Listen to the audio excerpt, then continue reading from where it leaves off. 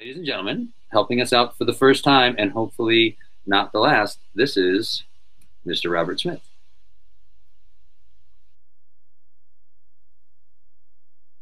Hello, this is Robert from The Cure. Very happy to be part of the Letters to Santa Marathon. Um, I'm going to play three songs from our Faith album, which is about to be 40 years old. I hope you enjoy this.